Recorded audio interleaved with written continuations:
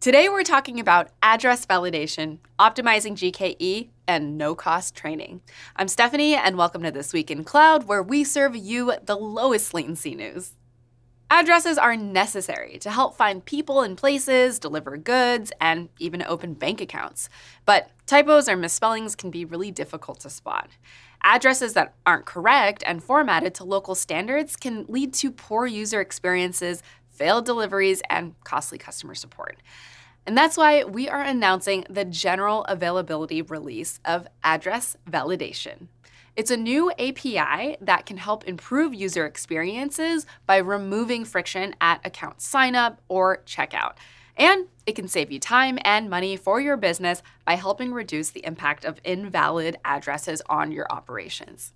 Cost and optimization are top concerns when it comes to cloud. And according to our internal research, up to 1 in 10 clusters across the GKE fleet is idle at any given time. Furthermore, among over provisioned workloads, 40% of them have provisioned 30 times the resources they actually use, and 11% of workloads have provisioned over 100 times the needed resources.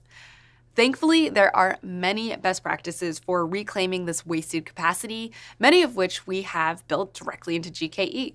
So check out the blog for four low effort, high reward ways to reclaim resources, optimize your GKE spend, minimize management overhead, and reduce your carbon footprint. Cloud technology has experienced accelerated adoption in recent years, with continued growth expected into 2023. This means that the need for organizations to attract and retain professionals with cloud skills continues to grow in parallel. And we do have some great news. For the rest of 2022, and in partnership with Google Cloud, Coursera is offering no cost access to some of our most popular cloud training to help you hone your skills and stand out in the job market.